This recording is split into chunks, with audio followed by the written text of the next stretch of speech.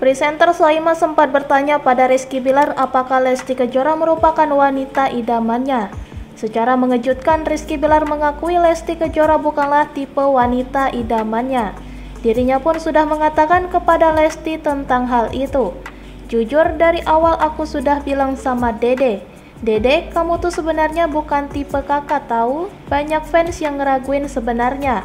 Kayaknya Kak Rizky enggak mungkin sama Lesti karena Kak Rizky beda sama mantan-mantannya. Ucap Rizky Bilar dari kanal YouTube The Hakim Story pada Minggu 30 Mei 2021.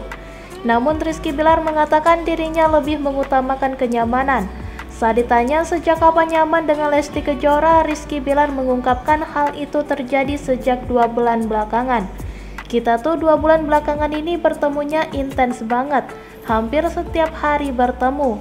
Ya sambil perkenalan lah, jadi dede bisa tahu saya dan saya juga tahu dede.